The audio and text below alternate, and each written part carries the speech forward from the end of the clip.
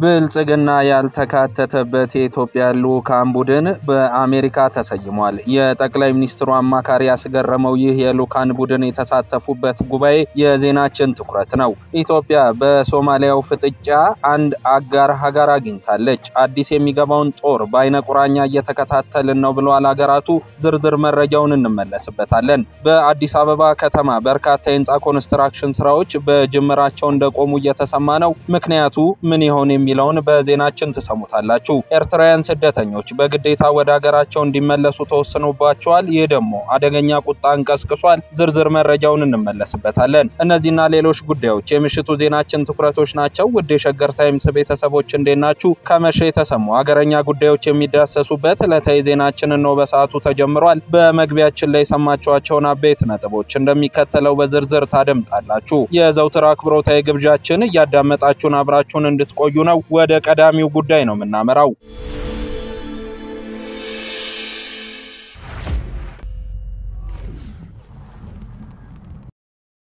ብልጽግና ያልተካተተበት የኢትዮጵያ ልዑካን ቡድን በአሜሪካ ተሰይሟል። ብዙዎችም እየተነጋገሩበት ነው። ሰባ ዘጠነኛው የተባበሩት መንግስታት ድርጅት ጉባኤ በሀገር አሜሪካ እየተካሄደ ይገኛል። በዚህ ጉባኤ ኢትዮጵያ በውጭ ጉዳይ ሚኒስትሩ አምባሳደር ታዬ አጽቀሥላሴ እየተመራች ትወክላለች። የዓለማችንን አሁናዊና መጻኢ እውነታዎች ያገናዘቡ ሰነዶችም ለውይይት ቀርበው እንደነበር ታውቋል። በሀገራችን አነጋጋሪ የሆነው ጉዳይ ግን ገዢው ብልጽግና ፓርቲ በዚህ ጉባኤ ላይ አለመወከሉ ነው። በጉባኤው ተቃዋሚ ፓርቲ አመራር ሆነው በመንግስት ግን ሹመት የተሰጣቸው ፕሮፌሰር ብርሃኑ ነጋና ዶክተር በለጠ ሞላ የተገኙ ሲሆን በተጨማሪነት የብልጽግና አባል ሳይሆኑ ግዙፍ ተቋማትን እንዲመሩ የተሾሙት አምባሳደር ታዬ አጽቀሥላሴና የጤና ሚኒስትሯ ነጻነት ዳባም ተካቷል። ይህንን መነጋገሪያ አጀንዳ የተጋሩት የጠቅላይ ሚኒስትር አብይ አህመድ ማህበራዊ ጉዳዮች አማካሪ የሆኑት ዲያቆን ዳንኤል ክብረት ኢትዮጵያ ባለፉት ስድስት ዓመታት ካደረገቻቸው ሪፎርሞች አንዱ የፖለቲካ ሪፎርም ነው። ከዚህ ሪፎርም አንጓዎች አንዱ ደግሞ ከኔ ወደ እኛ ማደግ ነው ይላሉ። የኢትዮጵያ ኃላፊነትን ለመረከብ ዋና መስፈርቱ በብሔራዊ ጥቅሞቿ ማመንና ለዚህ ዋጋ መክፈል ሆኗል የሚሉት አማካሪው እርሳቸው በግላቸው ምርጫ ተወዳድረው ካሸነፉ በኋላ አመሯ የተሰኘ የምርጫ ምልክትን ይዘው ፓርላማ እንደገቡም ይታወቃል። ይህ ብቻ ሳይሆን ጠቅላይ ሚኒስትር አብይ በግላቸው የፖለቲካውን ዓለም የተቀላቀሉትን ሰው ማህበራዊ ጉዳዮች አማካሪ አድርገው ሾሟቸዋል። በሀገራችን እጅግ አደገኛ የሚባሉ አጀንዳዎች ላይም በድፍረት ሀሳብ እየሰነዘሩ ይገኛሉ። ለዚህም ይመስላል የኢትዮጵያን ኃላፊነት ለመረከብ ዋና መስፈርቱ በብሔራዊ ጥቅሞቿ ማመንና ለዚህ ዋጋ መክፈል ሆኗል ያሉት ዳንኤል ክብረት የሰሞኑን የተባበሩት መንግስታት ድርጅት የኢትዮጵያ ልዑክ ያለ ብልጽግና ፓርቲ መወከሉን ሲያብራሩም በዚህ የተነሳ በኢትዮጵያ ካቢኔ ውስጥ የገዢው ፓርቲ አባላት ያልሆኑ አራት ሚኒስትሮች አሉ፣ የተፎካካሪ ፓርቲ አባላት የሆኑ ሁለት አሉ በማለት አስታውሷል። ይህ የዘንድሮ የተባበሩት መንግስታት ጉባኤ የኢትዮጵያ ልዑካን ፎቶ አፍ አውጥቶ ተናጋሪ ነው የሚሉት ዲያቆን ዳንኤል አምባሳደር ታዬ፣ ፕሮፌሰር ብርሃኑ፣ ዶክተር መቅደስ እና ዶክተር በለጠም ይታዩበታል። ሁሉም የገዢው ፓርቲ አባላት አይደሉም በማለት አጋጣሚውን እጅግ አስገራሚ እንደሆነም ጠቁመዋል።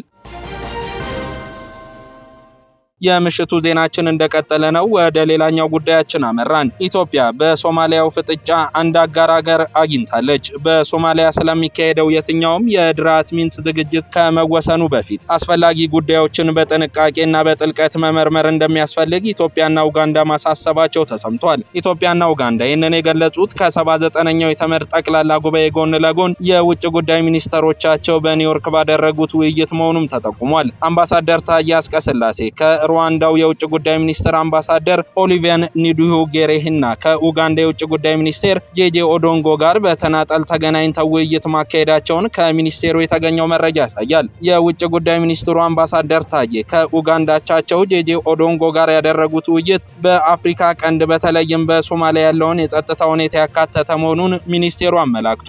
ሁለቱ ወገኖች የትኛውንም የድህረ አትሚስ ዝግጅት ከመወሰኑ በፊት አስፈላጊ ጉዳዮችን በጥንቃቄና በጥልቀት መመርመር እንደሚያስፈልግም ማሳሰባቸውን አስታውቋል። ኢትዮጵያና ኡጋንዳ ለሶማሊያ ሰላም ማስከበር ወታደር ካዋጡ ሌሎች ሀገራት ጋር በመሆን ከድህረ አትሚስ በኋላ የሚደረግ ማንኛውም ችኮላ የተሞላበት ስምምነት ሽብርተኝነትን በመዋጋት ረገድ እስካሁን የተገኙ ስኬቶችን አደጋ ላይ ይጥላል የሚል የጋራ ስጋት እንዳላቸው መግለጻቸውም ተጠቁሟል። የናይልን ወንዝ በሚመለከት አምባሳደር ታዬ ኢትዮጵያ በቀጣይ በጥቅምት ወር ኡጋንዳ የምታስተናግደውን ሁለተኛውን የናይል ጉባኤ ላይ እንደምትካፈል ያሳወቁ ሲሆን ይህም የትብብር የትብብር ማዕቀፍ ወደ ተግባራዊ ስራ እንዲገባ ለማድረግና የናይል ወንዝ ተፋሰስ ኮሚሽንን ለማቋቋም ታሪካዊ መሰረት የሚያስቀምጥ ነው ማለታቸውንም አስታውቋል። የትብብር ማዕቀፍ ስምምነቱ ወደ ተግባር መቀየሩ የጋራ ሀብትን ፍትሐዊና ምክንያታዊ በሆነ መንገድ ለመጠቀምና በተፋሰሱ ሀገራት መካከል ያለውን ትብብር ከፍ ለማድረግ አዎንታዊ እድገት መሆኑንም አምባሳደር ታዬ ጨምረው መግለጻቸው ተካቷል።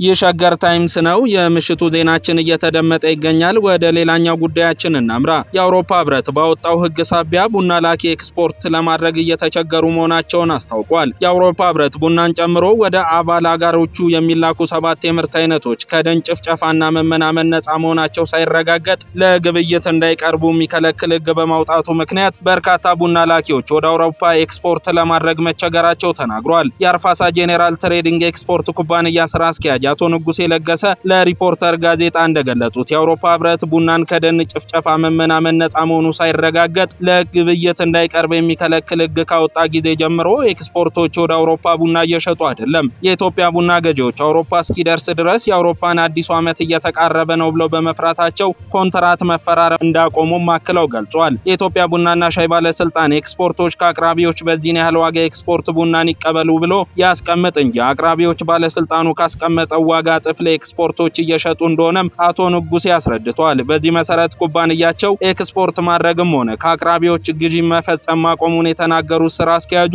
በአሁኑ ወቅት ኩባንያው ከሁለት ወራት በፊት በተፈራረመው ኮንትራት መሰረት ቡና በመሸጥ ላይ እንደሚገኝም ገልጿል። በተለይ የፋይናንስ አቅርቦትና ሌሎች ችግሮች በቡና ላኪዎች ላይ የፈጠሩት ተጽዕኖ ከፍተኛ እንደሆነና መንግስትም ጉዳዩን ችላ ማለቱን ተናግረዋል።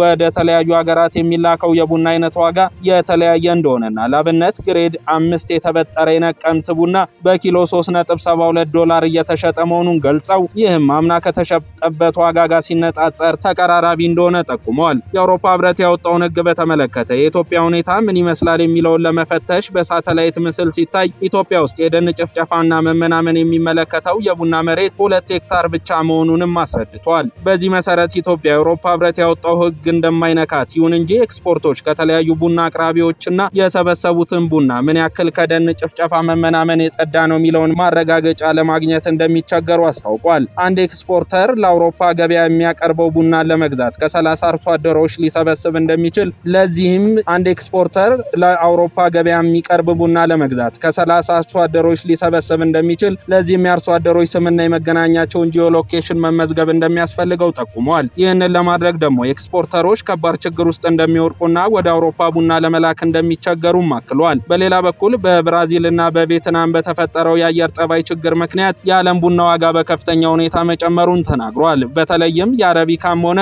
የሮቡስታ የዓለም የቡና ዋጋ በየጊዜው እየጨመረ መሆኑን ዘንድሮ የሮቡስታ ቡና ዋጋ ለ47 ዓመታት ታይቶ ማይታወቅ ሁኔታ ውስጥም ጭማሪ ማሳየቱን ገልጿል።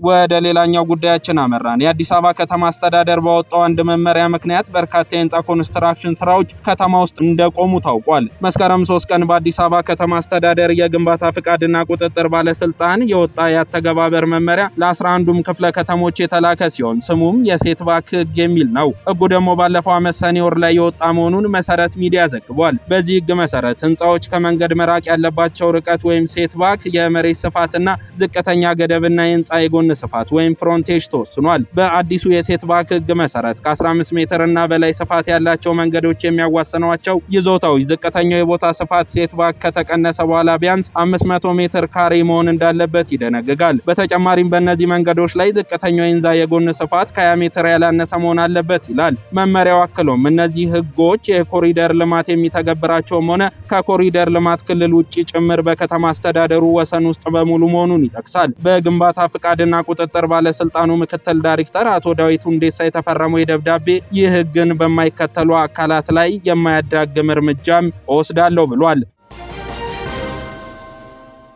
የምሽቱ ዜናችን እየተደመጠ ነው። ወደ ሌላኛው ጉዳያችን አመራን። አምነስቲ ኢንተርናሽናል ቱርክዬ ኤርትራውያን ስደተኞችን ወደ ሀገራቸው በግዳጅ መመለስ እንድታቆም አሳስቧል። ቱርክዬ በመቶዎች የሚቆጠሩ ኤርትራውያን ስደተኞችን በግዳጅ ወደ ሀገራቸው መመለስ እንድታቆም አምነስቲ ኢንተርናሽናል አሳስቧል። ዓለም አቀፉ የሰብአዊ መብት ተቆርቋሪ ተቋም የሆነው አምነስቲ ኢንተርናሽናል ኤርትራውያን ስደተኞቹ ወደ ሀገራቸው ከተመለሱ ስቃይ፣ የዘፈቀደ ስርዓትና ሌሎች ከባባድ የሰብአዊ መብት ጥሰቶች ሊያጋጥማቸው ይችላል ሲልም አስጠንቅቋል። የተባበሩት መንግስታት ድርጅት የስደተኞች ከፍተኛ ኮሚሽን በበኩሉ በግዳጅ የተመለሱ ኤርትራውያን በተለያዩ ሪፖርቶች መሰረት ከህግ አግባብ ውጭ የሆነ እስራት፣ እንግልትና ስቃይ አንዳንዴም በባለስልጣናት እጅ ግድያ እንደሚፈጸምባቸው ተገልጿል። ስደተኞቹ ኢሰብአዊ ከሆነ እስርና እንግልቶች በተጨማሪ ገደብ የለሽ ለሆነው ብሔራዊ ግዳጅ ተጋላጭ መሆናቸውም ተጠቁሟል። በተርክ የህግ መሰረት በቀጥታ የጥገኝነት ማመልከቻ ማቅረብ የሚችሉት አውሮፓውያን ብቻ ሲሆኑ ለሌሎች ስደተኞች የሚሰጣቸው የስደተኞች መብት በቅድመ ሁኔታዎች የታሰሩ መሆናቸውም ተመላክቷል። በወላይታ ዞን ብዙዎችን ያሳዘነ እጅግ አሰቃቂ አደጋ ተከስቷል። ከደቡብ ኢትዮጵያ ክልል ወላይታ ዞን ተነስቶ ወደ ደቡብ ምዕራብ ኢትዮጵያ ክልል ዳውሮ ዞን ሲጓዝ በነበረ የህዝብ ማመላለሻ ተሽከርካሪ ላይ በደረሰ አደጋ የሁለት ህጻናትን ጨምሮ 28 ሰዎች ህይወታቸው አልፏል። የመኪና አሽከርካሪውን ጨምሮ 19 ሰዎች ጉዳት ደርሶባቸው በሕክምና ላይ መሆናቸውንም የወላይታ ዞን ፖሊስ መምሪያ ገልጿል። ትናንት ረቡዕ መስከረም ከሶዶ ከተማ የተነሳው FSR የህዝብ ማመላለሻ ተሽከርካሪ በአብዛኛው ለበዓል ሲጓዙ ከነበሩ ከ50 በላይ ሰዎችን ጭኖ እንደነበር የወላይታ ዞን ፖሊስ መምሪያ የትራፊክ ፍሰት ቁጥጥርና አደጋ መከላከል ዲቪዥን ኃላፊ ኢንስፔክተር ወልዴ ቢሊሶ መናገራቸውንም ቢቢሲ ዘግቧል። አደጋው የደረሰበት ግርባ ወንዝ ተብሎ የሚጠራው አካባቢ የሚገኘው መንገድ ዳገታማና በጣም አስቸጋሪ መሆኑን የሚያስረዱት ኢንስፔክተር ወልዴ ተሽከርካሪው ዳገቱን በመውጣት ላይ እንዳለ እንደተንሸራተተም አብራርተዋል። እስካሁን ባለው መረጃ መሰረትም በዚህ አደጋ 28 ሰዎች ህይወታቸው እንዳለፈና 19 ሰዎች ላይ ጉዳት እንደደረሰ ኃላፊው ተናግሯል። ተሽከርካሪ ውስጥ ልጅና እናት ነበሩ። ህጻን ልጅ ሲሞት እናትየው ተርፋ ሕክምና ላይ ነች ሲሉም ህይወቱ ስላለፈ አንድ ህጻን ልጅ ጠቅሷል። እንደ ኢንስፔክተር ወልዴ ገለጻ በተሽከርካሪ ውስጥ ተሳፍሮ የነበሩ ሰዎች በአብዛኛው የዳውሮ ዞን ነዋሪዎች ሲሆኑ ህይወታቸው ካለፉ ሰዎች መካከል የአንድ ሰው አስክሬን ወደ ሀዋሳም ተልኳል። ከአደጋው ከተረፉት 19 ሰዎች መካከል ደግሞ 14ቱ የደረሰባቸው ጉዳት ከባድ እንደሆነ የወላይታ ዞን ፖሊስ መምሪያ የትራፊክ ፍሰት ቁጥጥርና አደጋ መከላከል ዲቪዥን ኃላፊ ኢንስፔክተር ወልዴ ገልጿል። አደጋው የደረሰባቸው ሰዎች በወላይታ ዞን በሚገኘው ሶዶ ክርስቲያንና በሌ የመጀመሪያ ደረጃ ሆስፒታሎች እንዲሁም በዳውሮ ዞን ተርጫ ጠቅላላ ሆስፒታል እየታከሙ እንደሆነ የዳውሮ ዞን የመንግስት ኮሚኒኬሽን ጽህፈት ቤት ኃላፊ አቶ ከበደ ተናግሯል። ህይወታቸው ካለፈና አደጋ ከደረሰባቸው ሰዎች በተጨማሪ ምንም ጉዳት ሳይደርስባቸው ከአደጋው የተረፉ ስድስት ተሳፋሪዎች መኖራቸውንም ኢንስፔክተር ወልዴ ገልጿል።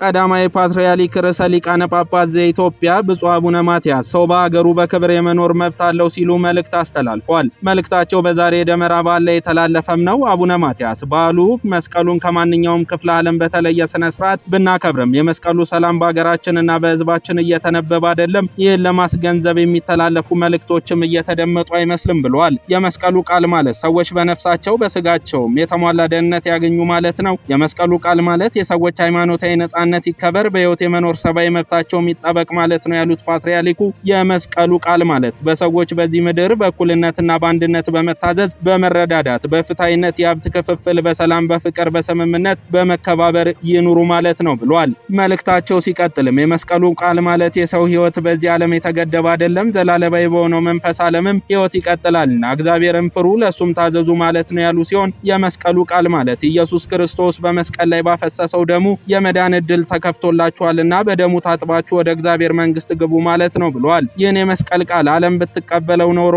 በየጊዜው እያንዣበበባት ያለው ስጋት ሁሉ ቦታ አይኖረውም ነበር ያሉት አቡነ ማትያስ አሁንም በመስቀሉ ስም ለዓለም ህዝብ ሆነ ለሀገራችን ዜጎች የምናስተላልፈው አበይት መልእክት የመስቀሉ ቃል ሁላችንንም በእኩልነት በፍቅር የሚያስተናግድ ነውና እሱን እንቀበል ሲሉም ጥሪ አስተላልፈዋል። አቡነ ማትያስ በመልእክታቸው መጨረሻ እንዳሉት ባለፉት ዓመታት ሲፈትኑን የቆዩ ዙሪያ መለስ ችግሮች መስቀሉ ባስተማረን ሰላማዊ መንገድ እልባት እንዲያገኝና ህዝባችንን ያለምንም ስጋት ወጥቶ እንዲገባ ሰርቶ እንዲያተርፍ ተምሮ እንዲያውቅ ሃይማኖቱን በነጻነት እንዲከታተል መንግስትና ኢትዮጵያን ሁሉ ለዘላቂ ሰላምና አንድነት አበክረው እንዲሰሩ በእግዚአብሔር ስም ጥሪያችንን እናስተላልፋለን ብሏል። ውድ አድማጭ ተመልካቾቻችን የዕለቱ ዜናችን የተከታተላችሁትን ይመስል ነበር። በያላችሁበት ሰናይ ጊዜ ይሁንላችሁ።